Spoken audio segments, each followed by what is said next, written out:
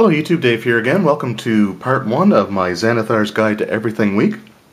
Uh, so over the course of the next few days, I'm going to be looking at several different aspects of this book. So for the first four days, I'm going to be looking at the brand new class options that are being presented in this book, uh, with Friday's video being a comparison of encounter building using the Dungeon Master's Guide versus the new uh, options presented in this book.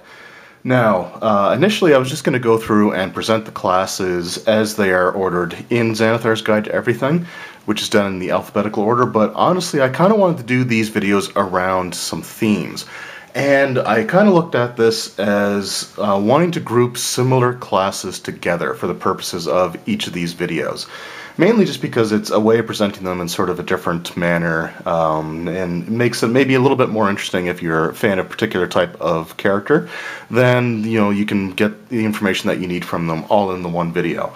And I thought that I would actually kind of group these together more or less in a manner similar to how classes were um, divided in 4th edition Dungeons and Dragons and in a much similar or smaller capacity uh, going back to third edition D&D when they had their supplement books for like their softcover ones. Uh, so today I'm going to be looking at the primal characters, or uh, I think I'm going to call this one uh, Forces of Nature, or if you're thinking of like the old D&D third edition stuff, Masters of the Wild. So in this video I'm going to be looking at the Barbarian, uh, the Druid, and the Ranger. So the classes that work best or have the strongest connection to uh, nature. So that's going to be what I'm looking at today. Tomorrow's video, I'm going to be looking at uh, Champions of the Divine. So I'm going to be looking at Clerics, I'm going to be looking at uh, Paladins, and simply because of the way that they're done, uh, and especially the options that are presented in Xanathar's Guide to Everything, I'm going to be including the Warlock in that particular video. Uh, the next one is after that is going to be um, focusing on like the more martial-oriented classes, uh, which would be the Monk, uh, the Fighter, and uh, the Thief. And then finally, I'm going to be looking at the arcane classes being the Bard, uh, the Sorcerer, and the Wizard. So, like I said, today we're going to be looking at our primal characters, our champions, or Nature's Wrath, if you will. So we're going to be taking a look at the Barbarian, the Druid, and the Ranger, and we're going to start off with the Barbarian class.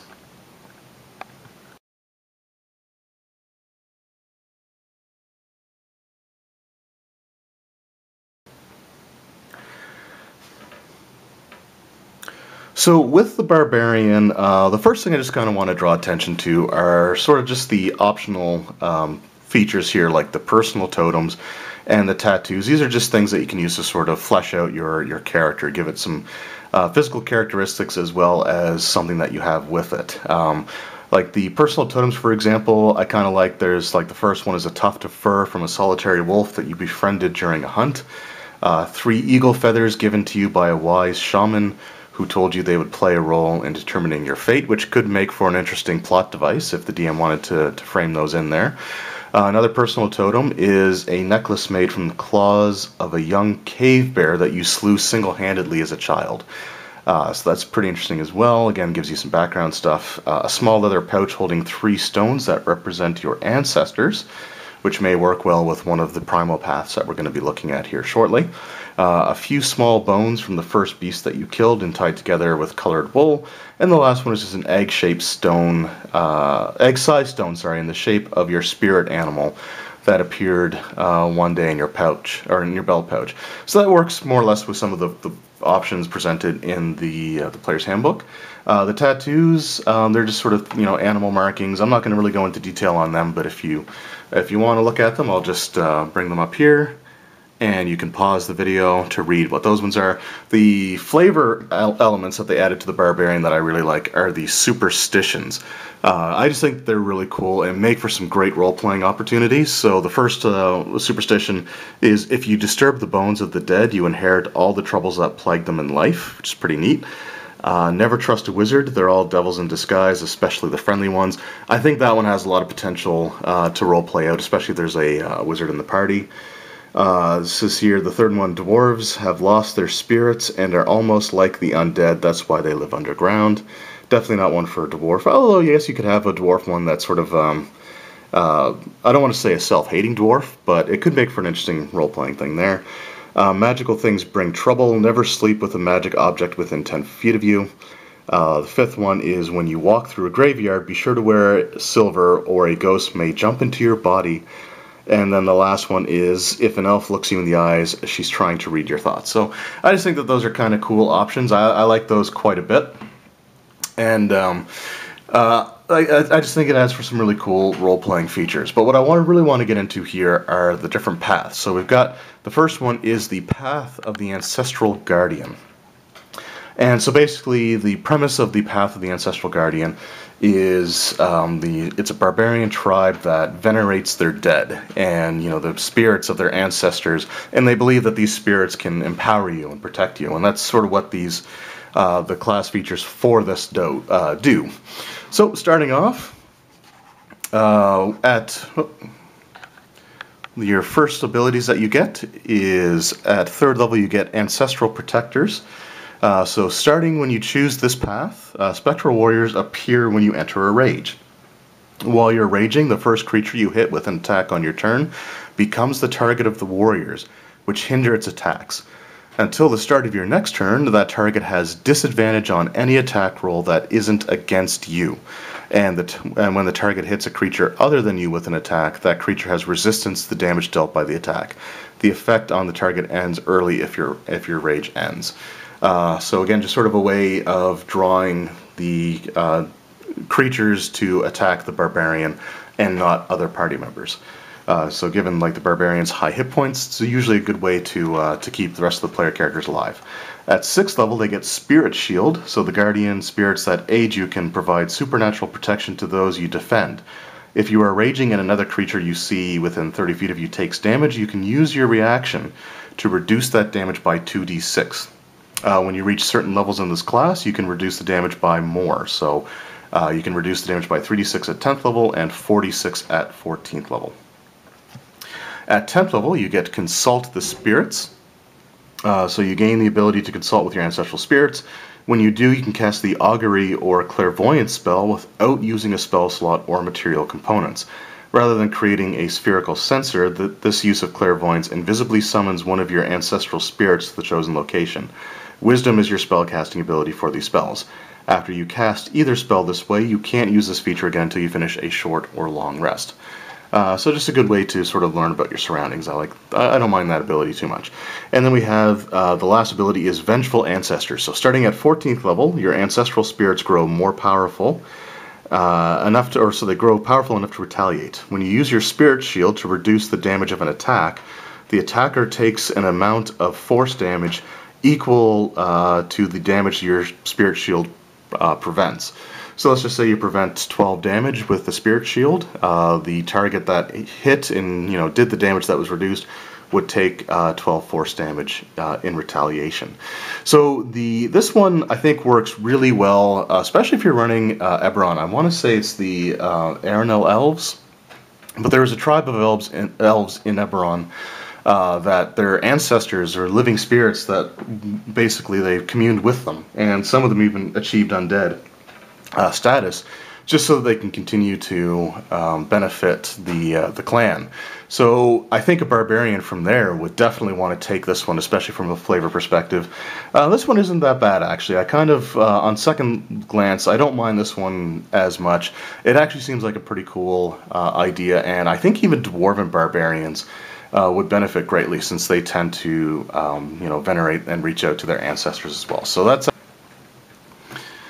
All right. So the second path that we're going to look at is the path of the Storm Herald. Uh, so basically, what this one is, you they kind of take on like the the mantle of primal magic, which swirls around them. When in a fury, a barbarian of this path taps into the forces of nature to create powerful magical effects. Uh, Storm Heralds are typically elite champions who train along druid or alongside druids or rangers, and others sworn to protect nature.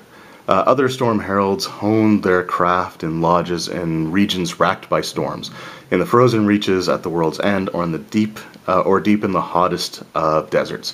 So this uh, this path essentially uses um, terrain types and you gain different abilities based off of uh, the terrain type that you choose to uh, to embody. So these are the the chart there that you get. Uh, so starting at third level. With Storm Aura, uh, you emanate a stormy magical aura while you rage. The aura extends 10 feet out from you in any direction, but not through total cover. Uh, your aura has an effect that activates when you enter your rage, and you can activate the effect again on each of your turns as a bonus action. So you get it for free when you enter your rage, but if you want to make use of the feature while you're raging, you do have to give up your bonus action. Uh, your aura's benefit depends on the chosen environment, as detailed below, and you can change your environmental choice whenever you gain a level in this class. Um, so you would start off with one, and when you gain your next level, like let's just say you chose uh, desert, uh, when you gain another level, if you find that you're not getting a lot of use out of your desert feature, then you can change it to sea or tundra. And anytime you gain a level, um, you can uh, change the choice therein. Now, until you gain that next level, you are locked in. So just keep that in mind when you uh, make your initial choice. And the uh, the Aura's effect, if they require a saving throw, uh, it's pretty standard. It starts at DC of 8 plus your proficiency bonus plus your constitution modifier. So the first option is Desert. Uh, when you uh, when this effect is activated, all other creatures in the aura take 2 fire damage.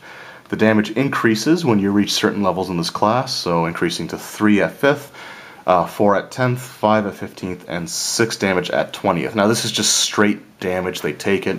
Uh, no saving throw uh, allowed or required. And you can do this uh, as a bonus action every turn. So you can deal like automatic damage to everything within uh, 10 feet of you. Uh, if you choose Sea, when this effect is activated, you can choose one other creature you can see in the aura. Uh, that target takes 1d6 lightning damage on a failed save or half as much on a successful one. And then the damage increases to 2d6 at 10th level, 3d6 at 15th level, and 4d6 at 20th. So this one allows a saving throw but deals potentially um, more damage, uh, but only to a single target. And then the last feature is Tundra, or the last option is Tundra. When this effect is activated, each creature of your choice within the aura gains two temporary hit points as icy spirits inure it to suffering. Uh, the temporary hit points increase when you reach certain levels in the class, so increases to 3 at 5th level, 4 at 10th, 5 at 15th, and 6 at 20th. So the Tundra is the defensive option that you can use um, to uh, affect any number of creatures in your aura. So this is something you obviously probably want to have on your fellow party members. Uh, at 6th level, they get Storm Soul, so the Storm grants you benefits even when your aura isn't active. Uh, the benefits are based on the environment you chose for your storm aura. So this would continue along. So if you chose desert, for example, just using the top one for your storm aura, then you would gain the effects of the uh, the desert feature for this uh, until you gain a level and decide to change it. So that's basically how that works. So with uh, with this, if you chose Desert for your Storm Aura, you gain resistance to fire damage, and you don't suffer the effects of extreme heat as described in the Dungeons Master Guide. Uh, as an a- action, you can touch a flammable object that isn't being worn or carried by someone else, and you can set it on fire. If you chose Sea for your Storm Aura, you gain resistance to lightning damage and can breathe underwater. Also, you gain a swimming speed of 30 feet. And then if you had chosen Tundra, you gain resistance to cold damage, and you don't suffer the effects of extreme cold, as described in the Dungeon Master's Guide. Moreover, as an action, you can touch water and turn a 5 foot cube of it into ice, which melts after one minute. Uh, this action fails if a creature is in the cube. So you can actually make a big uh, cube of ice, which is pretty neat. And then at 10th level, uh, you gain Shielding Storm. So at 10th level, you learn to use your mastery of the storm to protect others. Each creature of your choice that has the damage resistance you gained from your Storm Soul feature uh, while uh, the creature, or sorry, uh, each creature of your choice has the damage resistance you gained from the Storm Soul feature while the creature is in your Storm Aura. So uh, while the Storm Aura is activated, uh, other creatures gain the benefits of your uh, Storm Soul. So that's a, a, good way of giving them res- resistances, things as well. And then lastly, at 14th level, you gain Raging Storm. So at 14th level, the power of the storm you channel grows mightier, lashing at your foes. The effect is based on the environment you chose for your storm aura. So again, everything is sort of tied to that um, that you that environment that you chose, desert, sea, or tundra, and it stays that way until you decide to change it. However, uh, so with Raging Storm, if you had the Desert Storm aura, immediately after a creature in your aura hits you with an attack, you can use your reaction to force that creature to make a dexterity saving throw. On a failed save, the creature takes damage equal to half your barbarian level. So it's a way of basically lashing back at them if they hit you. Uh, with Sea, uh, when you hit a creature in your aura with an attack, you can use your reaction to force that creature to make a strength saving throw. On a failed save, the creature is knocked prone as if struck by a wave, so no damage, but you do knock them prone, granting advantage on anybody attacking them. And then uh, Tundra, whenever you or whenever the effect of your storm aura is activated, you can choose one creature you can see in the aura. That creature must succeed a strength saving throw, or its speed is reduced to zero until the start of your next turn, as magical frost covers it. so again, two pretty interesting ways of using environmental choices uh, to, uh, you know, aff- aff- aff- afflict the creature with condition effects uh, to deal damage to them, and even uh, gain some defensive features as well. Uh, I like. I don't mind this path. This is actually kind of a decent uh, path. The only thing that I don't like about it is the fact that you can change your choices every time you gain a level. Uh, honestly, I would have preferred if you kind of locked it in. So, for example, um, you know, once you chose your Storm Aura, uh, all the other features would would be based off of that one. Um, I, I just think that being able to change it, I know it's only once you level up every time, but I still feel that, you know, you would want to essentially choose an aura that's based off of um, the environment that you were raised in, the environment that you trained in. Uh, so, you know, desert, sea, or tundra would make sense. Um, for that, but just being able to change it, I don't know if I like that necessarily as much, but that's the way that they designed it, so there you go. And now the last uh, feature that we're going to be looking at here today, or the last primal path, is the Path of the Zealot. And it was actually pointed out to me that this one makes uh, a great option for uh, barbarians like the the Eye of Gruumsh or you know the worshippers like that. That actually kind of makes sense for it. Uh, so I, I kind of warmed up to this one a little bit more, and this is probably my favorite of the options that are in here. So we'll just uh, look this over. So again, this is um, essentially a barbarian who has connected to a deity, and uh, their devotion to that deity, you know, manifests itself in several different ways. So starting off uh, with divine fury. Uh, so when you choose this primal path at third level, you can channel Divine Fury into your weapon strikes. While you're raging, the first creature you hit on each of your turns with a weapon attack takes extra damage equal to 1d6 uh, plus your barbarian level. The extra damage is necrotic or radiant. Uh, you choose the type of damage when you gain this feature. So this is one where you're actually locked in to either radiant or necrotic. Now, obviously, if you're good aligned, radiant would make sense. And if it's an evil aligned creature, then the necrotic would make more sense. At third level, you also gain uh, Warrior of the Gods. Uh, so, at third level, uh, your soul is marked for endless battle. If a spell such as Raise Dead has the sole effect of restoring you to life, but not undeath, uh, the caster doesn't need material components to cast a spell on you, which is pretty decent.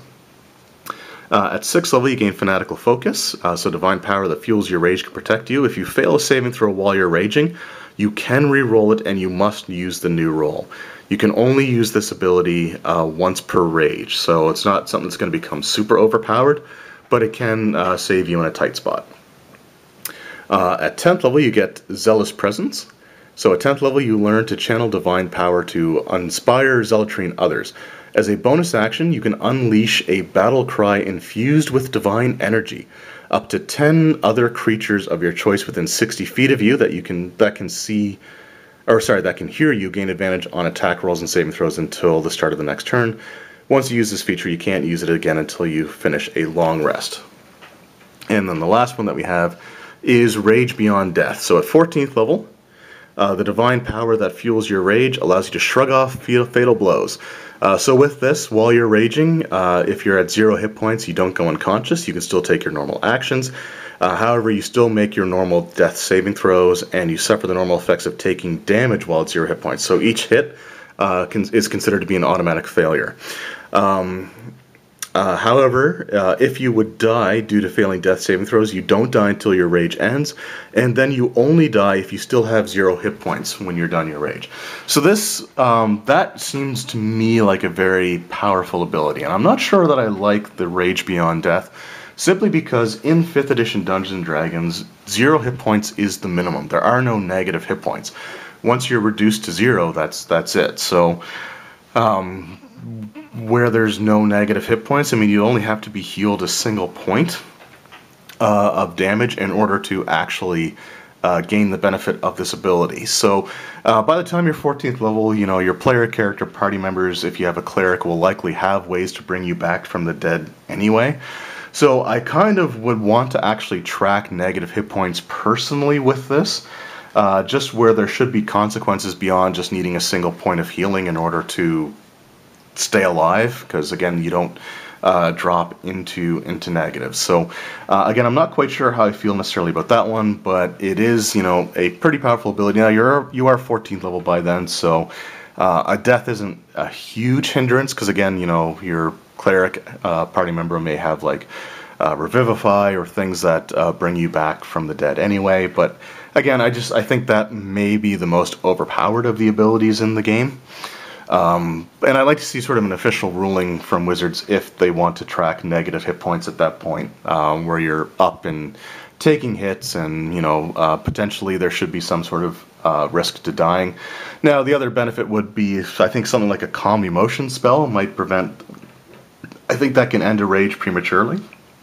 So it's possible that if something like that were cast, if you had a wizard that had that spell prepared, uh, then you know if somebody would be technically dead, then that spell would you know instantly sort of snuff them out. But anyway, uh, those are the barbarian paths. Uh, so uh, let me know what you think about the barbarian paths. Uh, if you like them, how you feel about them. Um, you know, I think they're all decent, but overall, um, I think Path of the Zealot, even though that highest level ability is sort of uh, you know, to me, I consider it to be, I don't want to say game breaking, but I do consider it to be quite powerful.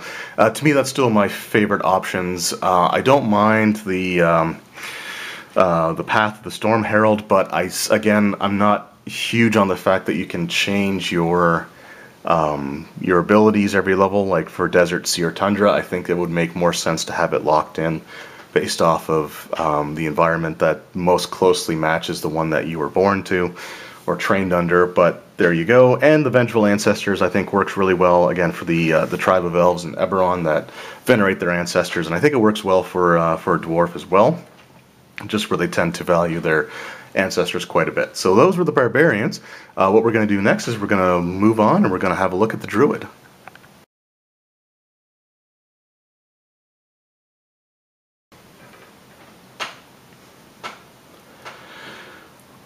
Alright, so looking at the Druid now, uh, similar to the Barbarian, uh, each of these classes have sort of just some randomized charts to kind of flesh out the, the character, their design, maybe give them some things that you can use for role-playing um, opportunities.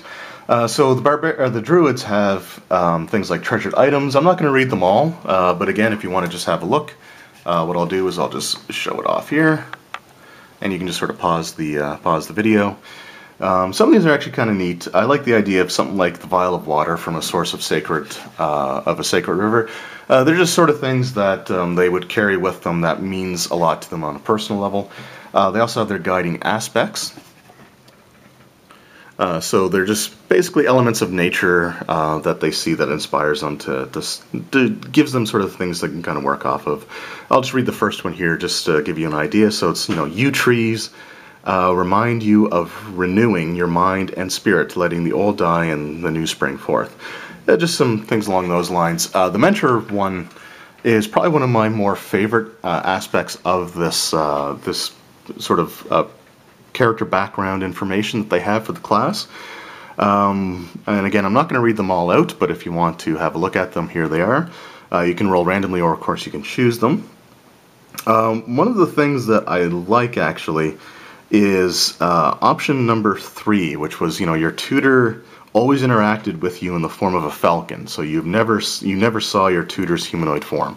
I just think stuff like that's kind of interesting. It gives you some uh, again just some background information. But what we're really here for is to look at the Druid circles. So there are two new circles that have been added here. So there's Circle of Dreams and uh, Circle of the Shepherd. So, Circle of Dreams are druids who are members, um, they hail from regions that have strong ties to the Feywild and its dreamlike realms. Uh, the druids' guardianship of the natural world makes for a natural alliance between them and good aligned Fey. Uh, these druids seek to fill the world with dreamy wonder. Uh, their magic mends wounds and brings joy, joy to downcast hearts. Uh, and the realms they protect are gleaming, fruitful places where dream and reality blur together uh, and where the weary can find rest. So, uh, the abilities that they get starting at second level uh, you get uh, Balm of the Summer Court. So at second level, you become imbued with the blessings of the Summer Court. Uh, you are a font of energy that offers respite for, uh, from injuries. You have a pool of Fey energy represented by a number of d6s equal to your Druid level. So at second level, you'd have two of these. As a bonus action, you can choose one creature you can see within 120 feet of you, and spend a number of those dice equal to half your druid level or less. Roll the spent dice and add them together. The target regains a number of hit points equal to the total. Uh, the target also gains one temporary hit point for each uh, die spent, and you regain uh, all expended dice when you finish a long rest. So at second level, you could roll 1d6 uh, and then heal someone within 120 feet of you as a bonus action uh, 1 to 6 hit points and give them an extra uh, temporary hit point on top of that. At 6th level, they gain uh, Hearth of Moonlight and Shadow. So at 6th level, home can be wherever you are. During a short or long rest, you can invoke a shadowy power of the Gloaming Court uh, to help guide your respite. At the start of your rest, uh, you touch a point in space, and an invisible 30 foot radius sphere of magic appears centered on that point. Uh, total cover blocks the sphere. While within the sphere, you and your allies gain a plus 5 bonus to dexterity, stealth, and wisdom perception checks. Uh, and any light from open flames in the sphere, a campfire, torches, or anything along those lines, is invisible outside of it. Uh, the sphere vanishes at the end of the rest uh, or when you leave the sphere. So it's just a way of basically protecting your camp so that um, creatures have a difficulty seeing or noticing that you're there. And it makes you it makes it easier for you to I guess to see creatures that may be nearby. Uh, but again, it, it, blocks things like campfire. So if you do this at night, um, it would prevent um, the campfire from exposing where you are. At 10th level, you gain hidden paths. Uh, so you can use the hidden magical pathways that some Fey use to traverse space in the blink of an eye. As a bonus action on your turn, you can teleport up to 60 feet into an unoccupied space you can see. Alternatively, you can use your action to teleport uh, one willing creature that you can see, uh, or that you can touch, sorry, up to 30 feet into an unoccupied space. Uh, you can use this feature a number of times equal to your wisdom modifier, a minimum of once, uh, and you regain all expended uses of this when you finish a long rest. And then the, the uh, last ability for the Circle of Dreams is Walker in Dreams. So at 14th level, uh, the magic of the Feywild grants you the ability to travel mentally or physically through dreamlands. When you finish a short rest, you cast one of the following spells without expending a spell slot or requiring material components. So, Dream, uh, which you are the messenger, Scrying, or Teleportation Circle. Uh, this use of Teleportation Circle is special rather than opening a portal to a permanent teleportation circle. It opens a portal to the last location where you finished a long rest on your current plane of existence. If you haven't taken a long rest, uh, or t- sorry, if you haven't taken a long rest on your current plane, the spell fails but isn't wasted, so it basically sets up the place that you would teleport to the next time. Once you fin- once you use this feature, you can't reuse it again until you finish a long rest. So each of the features here uh, rely on require uh, are essentially a once daily type of thing, uh, with the exception of the Balm of the Summer Court, which you can do a number of times equal to the dice that you have, uh, but you don't regain those dice until you finish a long rest. So unlike a lot of other feature or class class uh, options that you can regain after a short or long rest.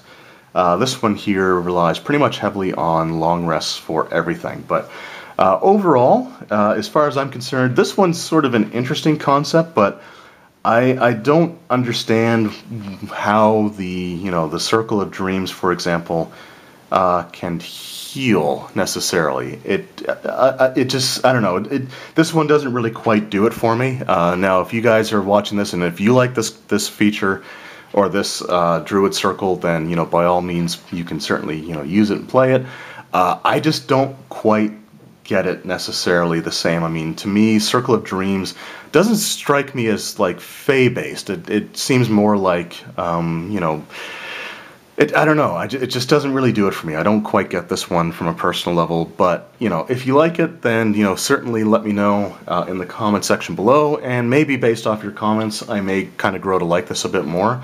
But to me, this one just doesn't seem to make uh, necessarily a whole lot of sense and I just don't like it as much. But uh, the next one I want to move on to does seem a bit more straightforward for a druid, and that is the Circle of the Shepherd. So this, I'm not going to read through the uh, the opening here, but essentially what this does is you can create animal spirits that uh, give you certain abilities, and it also strengthens summoned creatures. Uh, essentially, what it does. So the first thing I want to do here is just read uh, Speech of the Woods. So this is the first feature that you get.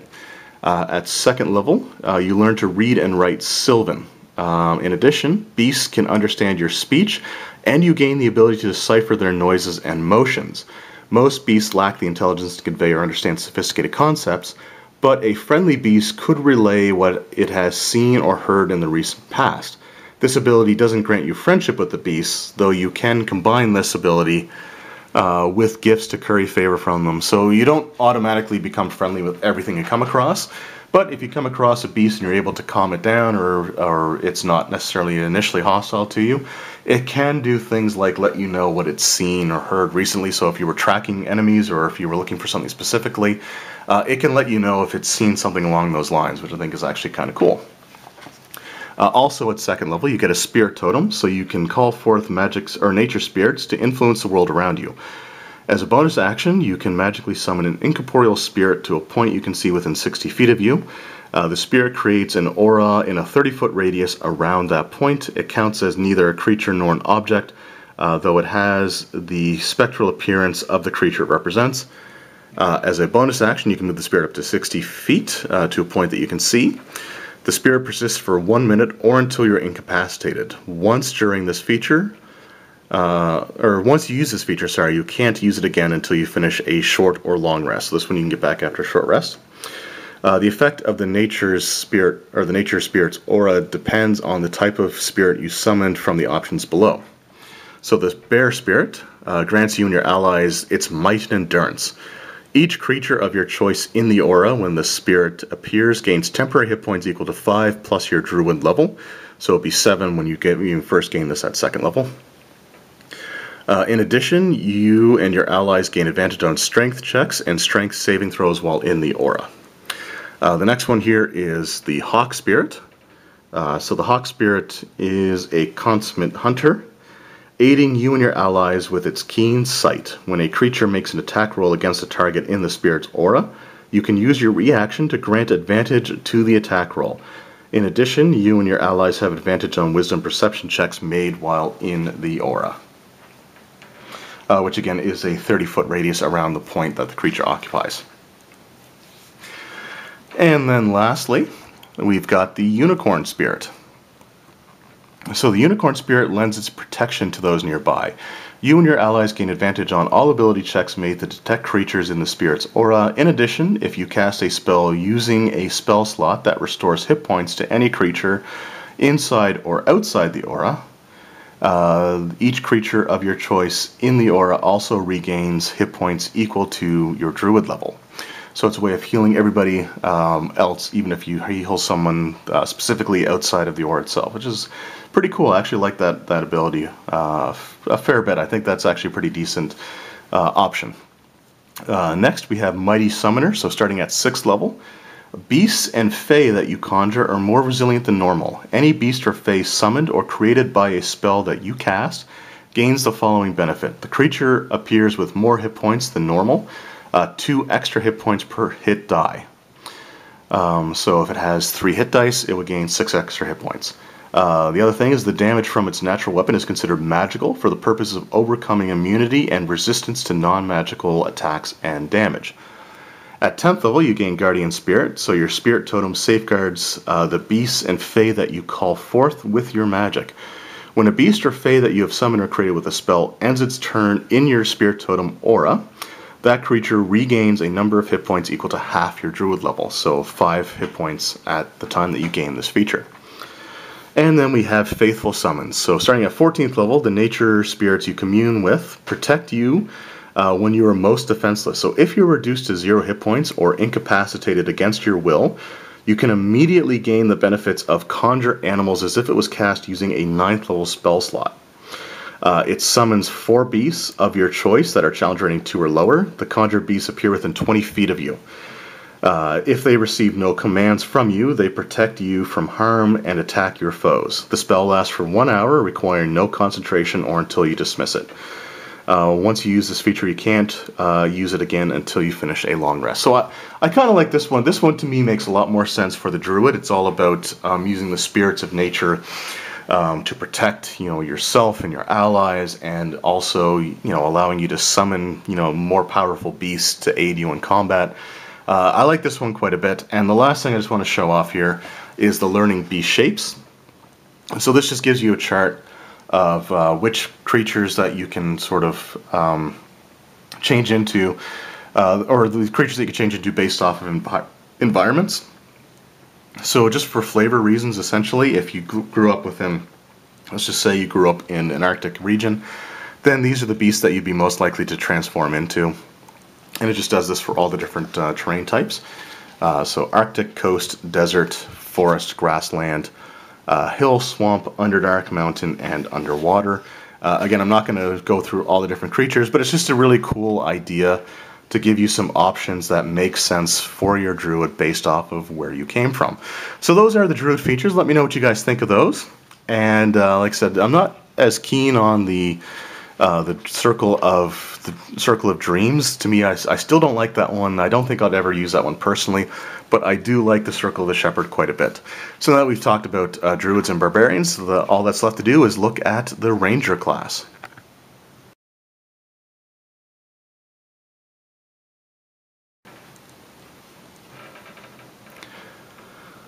Alright, so just going to look at the Ranger options now. Um, so I'm not going to go into their sort of background information here, but there's just some things that if you want to look at, like their views of the world, uh, maybe some information about their homeland, and some stuff about sworn enemies, then you can certainly do that. Just pause the video on each of those uh, charts if you want to read them in more detail.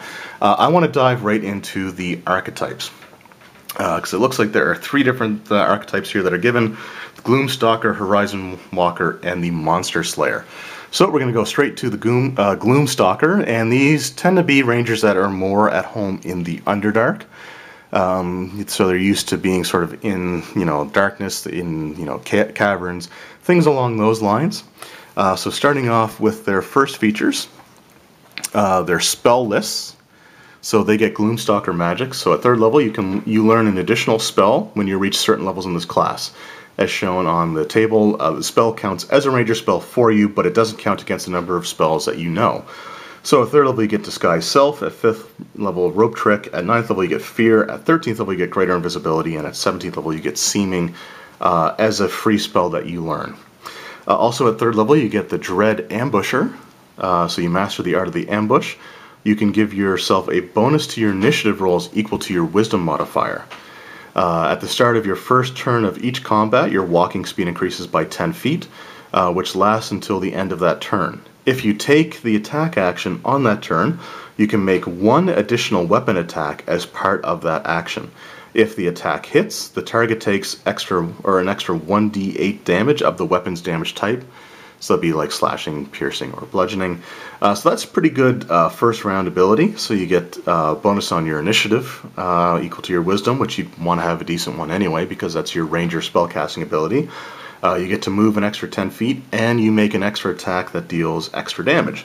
Uh, but it's only based off that first, that bonus attack that you get on your very first turn. At third level, you also gain Umbral Sight. So you gain Dark Vision out to a range of 60 feet. If you already have Dark Vision from your race, its range extended by 30 feet. So if you already had 60 foot Dark Vision, then you would now have 90 foot Dark Vision. Uh, you're also adept at evading creatures that rely on dark vision. So while in darkness, you are invisible to any creature that relies on dark vision to see you in that darkness. So that's a pretty good way of being able to ambush things like, you know, drow or underdark races. At 7th level, you get Iron Mind, so you have honed your ability to resist the mind-altering powers of your prey. You gain proficiency in Wisdom saving throws. Now, if you already have proficiency in that, you instead gain proficiency on either intelligence or charisma saving throws, which is your choice. At 11th level, sorry, I just don't want the camera to fall over there. Uh, so at 11th level, you gain Stalker's Flurry. Uh, so you learn to attack with unexpected speed uh, that can turn a miss into another strike. So once on each of your turns, when you miss with a weapon attack, you can make another weapon attack as part of the same action. So essentially, if you miss, you can try to uh, you basically re-roll the attack. Um, and then the last feature that they get is Shadowy Dodge at 15th level. Uh, you dodge in unforeseen ways with wisps of supernatural shadow around you. Whenever a creature makes attack roll against you that doesn't have advantage on the roll, you can use your reaction to impose disadvantage on it. You must use this feature before you know the outcome of the attack roll. So basically, before the DM um, declares what armor class they hit, essentially, you can you can use that to impose disadvantage. So that's pretty interesting. I think this works again really well for Underdark races or for creatures that or for characters that um, want to or have favorite enemies that are Underdark races. So if your favorite enemy is like Drow or Duergar, then this would work really well uh, for you. If you're playing the Out of the Abyss campaign, uh, a ranger of this type might not make the most sense to be a starting character, but if you lose one of your characters before you escape the Underdark or while you're exploring the Underdark, uh, if you wanted to play a ranger, this would make an excellent sort of replacement character to bring in. So this is a, this is a pretty cool one for those purposes. Uh, up next, we have the Horizon Walker. So they guard the world against threats that originate from other planes or that seek to ravage the mortal realm with otherworldly magic. Um, so they work well against essentially the ideas, things like um, demons or devils, uh, stuff along those lines. Uh, these rangers are also friends to any forces in the multiverse, um, especially benevolent dragons, fays, and elementals that work to preserve life and order in the planes.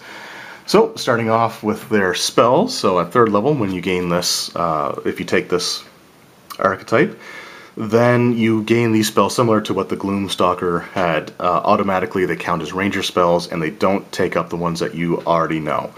So at third level, you get protection from evil and good. At fifth level, you get Misty Step. At ninth level, you gain haste. At 13th level, you gain banishment. And at 17th level, you gain uh, teleportation circle. At third level, you gain the detect portal ability. So you can sense the presence of a planar portal. As an action, you detect the distance and direction of the closest planar portal within one mile of you. Once you use this feature, you can't use it again until you finish a short or long rest. Uh, and you would have to look at uh, the Dungeon Master's Guide, Planar Travel section, Chapter 2, for examples of planar portals. So I'm not going to get into that here, uh, but if you're using that in your adventures, then you can use your Detect Portal ability to find them. Uh, Planar Warrior, at third level, you learn to draw on the energy of the multiverse to augment your attacks. As a bonus action, choose one creature you can see within 30 feet of you. The next time you hit that creature on this turn with a weapon attack, all damage dealt by the attack becomes force damage, and the creature takes an extra 1d8 damage from the attack. Uh, when you reach 11th level, uh, it increases to 2d8. So it's just a way of dealing extra damage and it uses your up your bonus action to do so. But again, that's a great way of dealing uh, extra damage to something. And there are very few things that resist force damage. I mean, even incorporeal undead, who resist all damages, uh, take normal damage from force. So that's a pretty good one to have. Uh, ethereal step. So at seventh level, you learn to step through the ethereal, ethereal plane. As a bonus action, you can cast the Etherealness spell with this feature uh, without expending a spell slot but the spell ends at the end of the current turn, so it just uses up uh, instantly. Once you use this feature, you can't use it again until you finish a short or long rest. At 11th level, you get Distance Strike, so you gain the ability to pass between the planes in the blink of an eye. When you take the attack action, you can teleport up to 10 feet before each attack into an unoccupied space that you can see. Uh, if you attack at least two different creatures with this action, uh, you can make one additional attack with it against a third creature. So if you're going up against hordes of enemies, this is a great way to be able to deal damage to each of them each turn. And then you get Spectral Defense at 15th level. So your ability to move between planes enables you to slip through planar boundaries to lessen the harm uh, done to you during battle.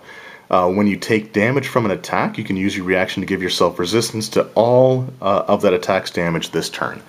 So that's a pretty pretty neat one. I, I like this one quite a bit. Um, I don't know how much I would use this this um, archetype, but it's still kind of an interesting idea. And if you're in a campaign where you're up against like um, summon demons, or the villains are trying to use magical portals, uh, planar portals to summon creatures forward, then this could be a really great uh, class to, to or class feature to use.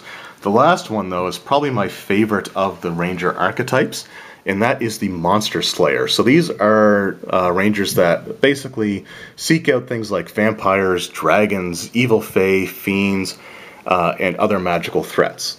Um, so starting off with their spell list, at third level, uh, they gain protection from evil and good. At fifth level, they gain Zone of Truth. Ninth level, Magic Circle. 13th level, Banishment. And at 17th level, they gain Hold Monster. Again, they count as Ranger spells, uh, and they don't require them to use up one of their spells that they would learn when they gain those levels. At third level, they also gain Hunter Sense. Uh, so you gain the ability to peer at a creature and magically discern how to best hurt it. As an action, you choose one creature within 60 feet of you. You immediately learn whether the creature has any damage immunities, resistances, or vulnerabilities, and what they are. So I think you have to choose which of those ones you want to look for. If the creature is hidden from divination magic, you sense that it has no damage immunities, uh, resistance, or vulnerabilities, and you can use this feature a number of times equal to your wisdom modifier, minimum of once, and you regain all uses of it when you finish a long rest. So it's again, if you're going up against something that you've never seen before, um, and the DM you know wants to keep its abilities hidden, you can use this feature to learn sort of some information about it, which is kind of cool. I, I, like that one quite a bit. Uh, Slayer's Prey, starting at third level, you can focus your ire on one foe, increasing the harm you inflict on it. As a bonus action, you designate one creature you can see within 60 feet of you. Uh, the first time, uh, you, or the first time each turn that you hit that target with a weapon attack, it takes an extra 1d6 damage from the weapon. Uh, this benefit lasts until you finish a short or long rest, and it ends early if you designate a different creature. Um, so this is sort of similar to the uh, planar warrior, um, but it. Um, let's have a look here. Yeah, it's very similar to that, except it just increases your normal damage. It doesn't actually uh, it doesn't actually change the uh, the damage type that it does. Uh, you also gain supernatural defense. So at seventh level, uh, you gain X resilience against your prey's assaults on your mind or body. Whenever the target of your slayer's prey forces you to make a saving throw, uh, and whenever you make an ability check to escape that target's grapple, you get to uh, add 1d6 to your roll. So you get uh, higher, you get an extra bonus that you can uh, add to those saving throws or grapple checks. So if you're trying to get away from, like, say, a mind flayer, um, having that extra d6 may come in very handy. At 11th level, you gain Magic User's Nemesis.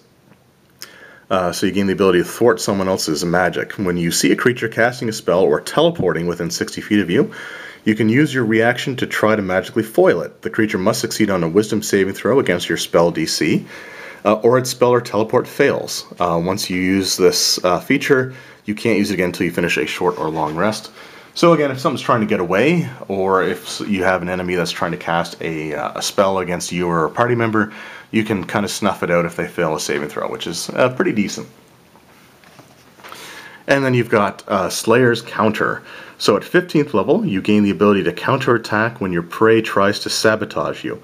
If the target of your Slayer's prey uh, forces you to make a saving throw, you can use your reaction to make one weapon attack against the quarry.